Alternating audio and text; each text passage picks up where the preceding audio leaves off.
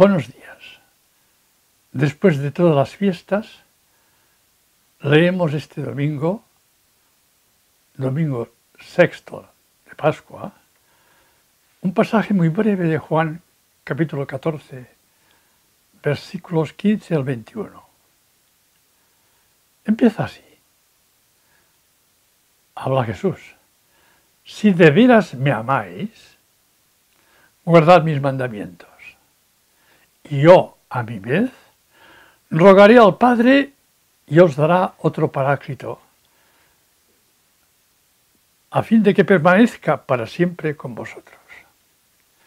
Pone la condición, ¿eh? Muy curioso. Si de veras me amáis. ¿Ah? Cuando uno lee esta expresión, piensa siempre que probablemente la mayoría no lo aman, si no lo dijera. Si de veras me amáis. Y se va a demostrar guardando los mandamientos. No, no dice guardar los mandamientos. Guardad mis mandamientos. Estos no son los mandamientos de Moisés. Esto se ha acabado. Jesús resucitado tiene otras expresiones. Y yo a mi vez, les asegura, rogaré al Padre y os dará otro paráclito. Claro, esto está pronunciado en vida de Jesús, pero está hablando ya de su futuro. Y ahora lo va a realizar. Les promete el paráclito. Generalmente esta expresión aparece en griego, o paracletos, o. Pero esta expresión se podría traducir de mil maneras. El abogado, el defensor, porque viene del verbo paracalea, un verbo muy usado por los evangelistas. Pero Juan insiste cuatro veces en este, digamos, personaje especial. Si dice otro paráclito, quiere decir que también él se considera un paráclito, porque está siempre al lado de sus discípulos, para consolarlos, para exhortarlos. Este es el papel que desempeña el paráclito. Este lo hará en ausencia suya, está Jesús a punto de, de ser crucificado cuando está hablando.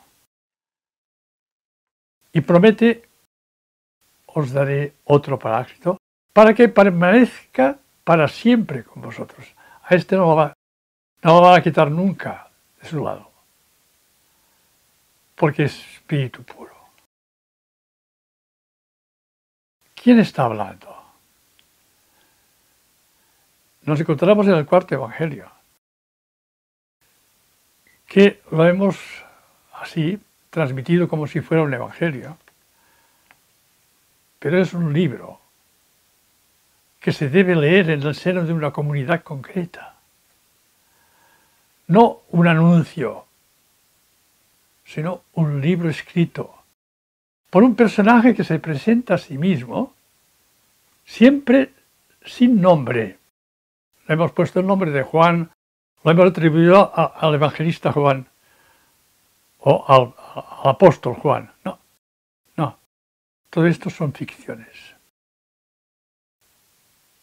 Es el discípulo a quien Jesús amaba. Se repite cinco veces esta expresión a lo largo del libro. Este, el que cumple, si de veras me amáis, este lo ha amado totalmente, que se ha convertido en el discípulo a quien Jesús amaba. En el que ha escrito este libro, claro, es un libro de mucha experiencia. Si guardáis mis mandamientos, sabe exactamente cuáles son. El mandamiento del amor. No sé si se puede hacer un mandamiento del amor. Es una manera de, contrarrestar los mandamientos del derecho.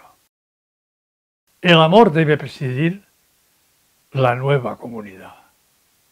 Buenos días.